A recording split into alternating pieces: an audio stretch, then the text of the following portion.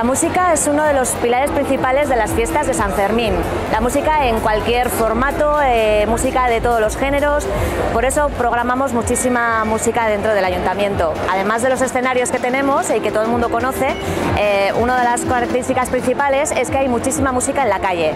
Tenemos música de gaitas, música de chistus, tenemos eh, incluso la pamplonesa. Durante todos los Sanfermines toca las dianas todos los días y la gente las espera con casi con devoción.